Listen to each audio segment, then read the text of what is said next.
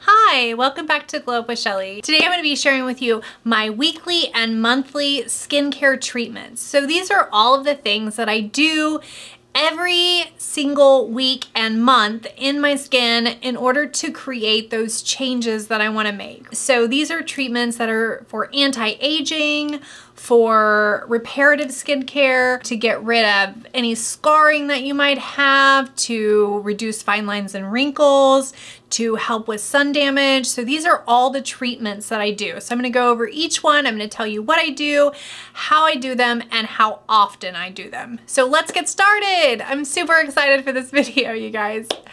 Remember, this channel is all about glowing up, transformative skincare, flawless makeup, and a lifestyle to match. If that resonates with you, hit subscribe.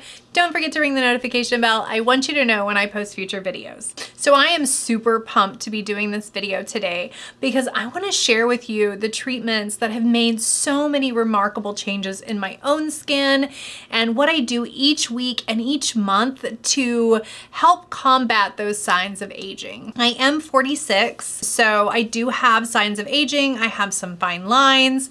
I have uh, enlarged pores. I have some acne scarring from my 20s when I wasn't so good about taking my makeup off or washing my skin or even hydrating it. I was terrible in my 20s. So I am undoing all of that damage now that I'm older. Okay, so one of the first treatments that I do use each night is my red light therapy mask. And I just love this. It does so many great things for my skin. It helps reduce hyperpigmentation. My skin has never looked as clear as it looks today. And I definitely think red light therapy is one of the main reasons that a lot of my hyperpigmentation has gone away. I used to have really bad red all along here, red splotches here. I had bad rosacea along here. Now I did get IPL treatment for it. That's the laser treatment. I did get a few sessions of that. It did help a little bit, uh, especially with some of the veinage along my rosacea, but this is what really turned my rosacea around. And I use this probably four nights a week. So I just kind of alternate. Some nights I do skip it, but about four nights a week is all you need. Now I did use this every night for the first couple of weeks that I used it, and then I went down to four nights a week. So this is amazing. And I do this right before, right after cleansing, when I dry my skin, I do it right before my PM routine. So that is one thing that I do. Okay, so what is another treatment that I do on a regular? Well, it is facial massage, guys. I use my facial massager and I have more than just this facial massager. I have a gua sha massager, I have a bar massager, I have a roller, but I give myself some kind of facial massage where I will sculpt, kind of sculpt up my cheeks, get rid of drainage. This is wonderful for depuffing the face. And I use this in the evening. Sometimes if I'm super puffy on the weekends, I'll use it in the morning, but I just do it for a couple of minutes, maybe three to five minutes, and I roll it around and I just really make sure that I get the massage all over my skin. Massaging is wonderful. It increases blood flow. It gets blood to those uh, areas that normally don't get it. Another thing that massage does is it relaxes your facial facial muscles. And you really want to relax your facial muscles because tension is one of the biggest things that leads to dynamic wrinkles. Okay, I'm gonna say that again. Tension is one of the things that can lead to dynamic wrinkles. It's not the only thing, but having too much tension in your face, not necessarily a good thing. So having some kind of massage built into your routine is really great. And I, like I said, you can use any massager. There are cheap ones. I got this on Amazon, I think for $19. So it's super cheap, not an expensive tool at all. And one definitely worth the price tag. The, these red light therapy masks are a little bit more expensive. You are going to be putting, I mean, especially if you get a good one, you're looking at a few hundred dollars, but they're definitely worth the price, worth investing in because they do create changes to your skin that are quite dramatic. Okay, so what is another treatment I do? Well, I do a chemical peel twice a week and I have two different chemical peels that I use So I use this Peter Thomas Roth Peptide 21 amino acid exfoliating peel pads. These are amazing. They're 20% exfoliating complex. They have phytic acid, salicylic acid, and sodium lactate, so lactic acid. These are great for resurfacing the skin. You wipe the pad on, they're little pads, and all you do is take one out like so, and you wipe it across your face, and then you let that sit for two to three minutes and then um, you rinse it off in order to deactivate the peel. And this is just a nice little peel. And remember when I use this, when I use any kind of chemical peel, I do not use the glycolic acid in my routine. So keep that in mind. You will want to like not use an AHA later if you use a peel. So I do this at night in the evening right after I've washed my face and then I continue on with the rest of my skincare routine like normal except for eliminating the glycolic acid. So that is what I do on Wednesday nights. What do I do on Saturday night? I have a chemical peel party. Yes, I have a chemical peel party on Saturday nights, y'all. It is really like hopping in this house, let me tell you. So what do I do? I use AHA 30%, BHA 2% peeling solution by The Ordinary. This is inexpensive, but this packs a punch. I mean a punch this is a serious chemical peel. Like you need to be making sure that you rinse this off properly after you're done. This stuff is strong, but it works. So I do this chemical peel at night. Sometimes I'll do it in the morning on a Saturday because I'm not getting ready. I'm not in a rush to get ready for work or anything like that. So I can do this on a Saturday morning, especially if I want my skin to really glow. If I'm going somewhere special that night, I will sometimes do it in the morning. But it is a kind of a like a red peel. So Cassandra Bankson, another influencer, talks about this one a lot because she absolutely loves it. And I love it too. So I can understand why she likes it so much because it is amazing. So you just rub a thin layer all over your face, let it sit for up to 10 minutes. I have only gotten to six minutes, guys. That's how strong this peel is. If it burns at all, be careful, okay? This this is a strong peel. You might need to work up to this peel. Like you might need to start out for like two minutes and then like increase to three, then increase to four, then increase to five. It is a strong peel. So just understand that and take precautions and use gloves and don't get this everywhere and wash it completely off. Make sure you get all the spots because this, this little baby packs a punch, but it increases cellular turnover.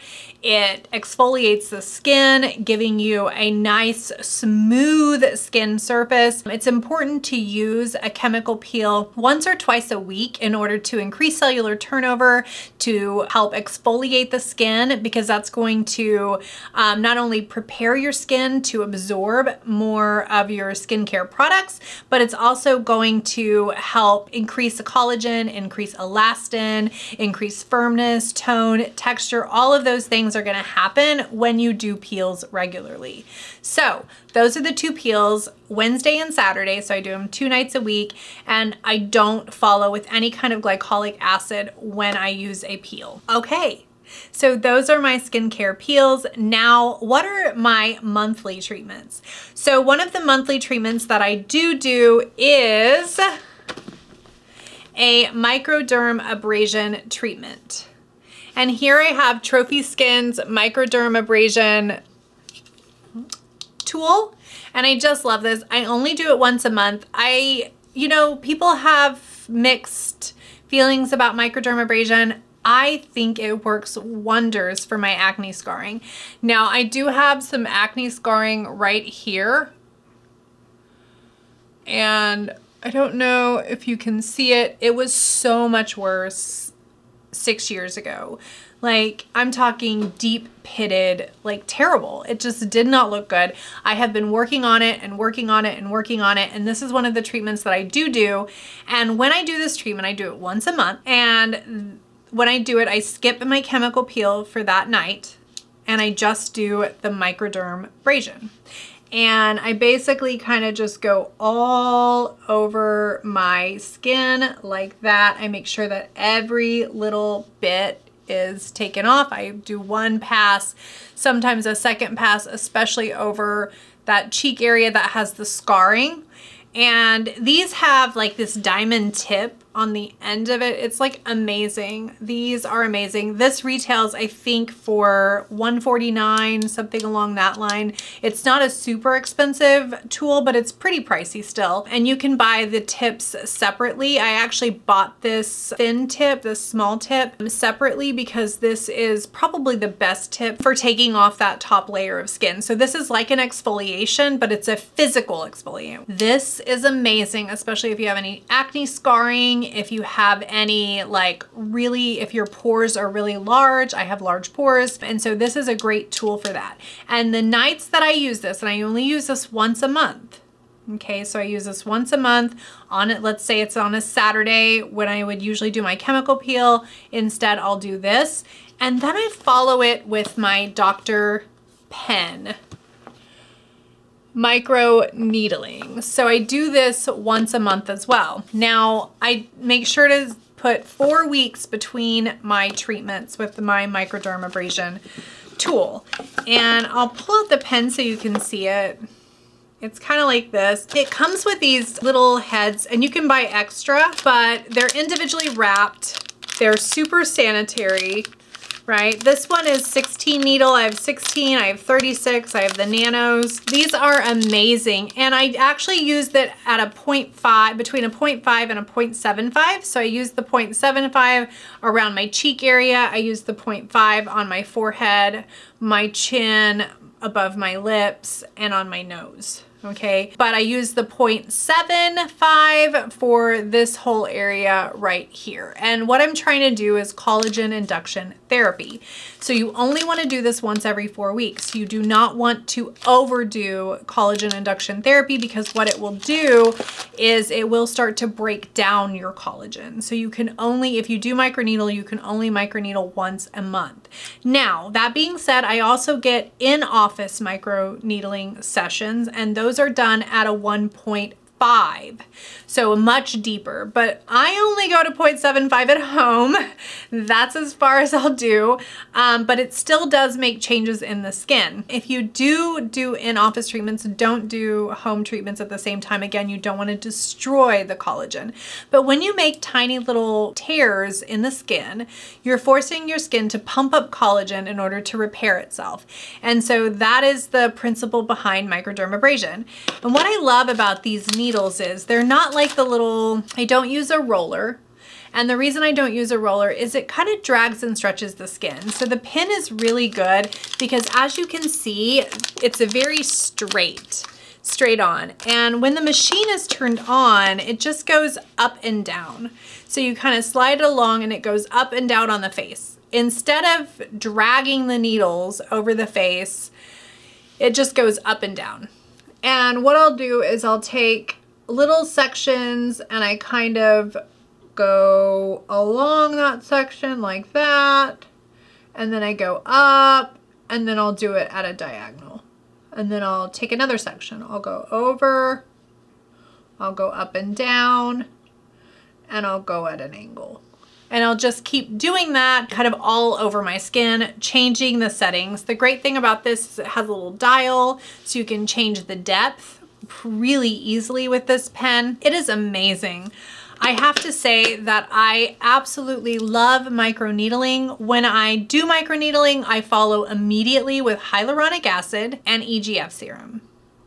So those are the two serums that I use, hyaluronic acid and EGF serum, and then a moisturizer, and that is it. That is all I put on my skin. A repairing moisturizer like the Double Toleriane La Roche-Posay moisturizer, this one, okay, or Skin Fix or another one similar to this, and that is it. So my skin treatment itself is the pen and I go very minimal on the skincare because remember I'm looking for hydration. I want to make sure that any product that I put on my skin after I microneedle is going to be sanitary. It's not going to cause any irritation.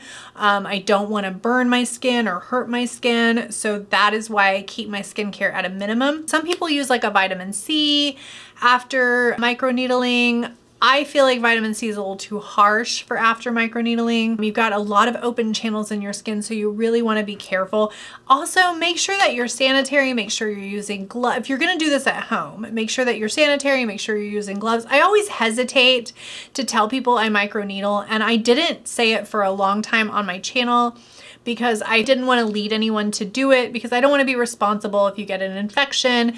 It's not the easiest thing to do at home, so do keep that in mind. You definitely want to make sure your environment's sanitary. You want to make sure that you wipe your face down a little bit with some alcohol. Even though it's drying, you're going to put hydration back into your skin anyway. So make sure that you do that. You're wearing gloves. You're doing everything that you can to stop any kind of risk of infection or getting, you know, something on your skin that could potentially hurt your skin. You don't want to damage your skin long term. So that being said, when you do pin, I would keep it at a 0.25 or a 0.5 level on the other areas of your face. And if you want to go a little higher in the cheek area where your skin's a little thicker, that is totally fine. 0.75, that's collagen and 0.5 to 0.75, that's collagen induction therapy. So that's a pretty deep needling. Okay, so having said that, just make sure you're just being very careful. And I will tell you guys, I have been microneedling myself at home for four years. I've never had an infection. I've never had a problem with it, but I'm very, very, very careful. I only do it once every four weeks. I use a pen I make sure that everything is sanitary. I make sure to wipe my face down with alcohol before I begin my treatment. And I make sure to really use only products that are hydrating and plumping afterward. So there you have it. Those are all of the skincare routine, all of the skincare treatments that I do in a single month and in a week and I hope you enjoyed this video. If you have any questions or comments, leave them in the comment box. I'm so happy to answer your questions and I look forward to seeing you next time on Glow Up with Shelley.